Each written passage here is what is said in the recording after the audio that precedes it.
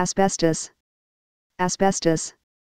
Fibrous incombustible mineral composed of magnesium and calcium silicates with or without other elements. It is relatively inert chemically and used in thermal insulation and fireproofing. Inhalation of dust causes asbestosis and later lung and gastrointestinal neoplasms.